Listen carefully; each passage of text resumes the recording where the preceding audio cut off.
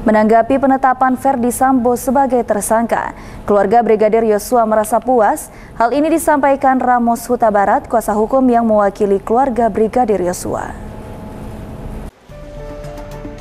Ramos Huta Barat kepada wartawan Selasa malam menyampaikan terima kasih kepada Presiden Republik Indonesia, Menko Polhukam, dan juga kepada Kapolri yang telah menepati janjinya untuk mengungkap kasus kematian Brigadir Yosua secara terang benderang.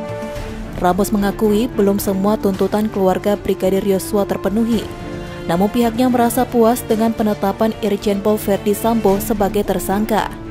Selain itu, motif pembunuhan ini masih terus didalami penyidik. Oleh karena itu, dia memastikan tim kuasa hukum akan tetap mengawal perkara ini dan tetap mendampingi keluarga Brigadir Yosua Huta Barat. Bakal ada tersangka baru dan itu juga dari pasal-pasal yang diterapkan 340, 338, Junto 55, Junto 56 dan Pak Kapolri bilang masih ada kemungkinan ada tersangka-tersangka baru dan juga ada juga yang bakal diperiksa secara etik dari pihak kepolisian yang mencoba menghalang-halangi dan menutup-nutupi perkara ini. Terkait pasal yang diberikan itu Sambo sendiri?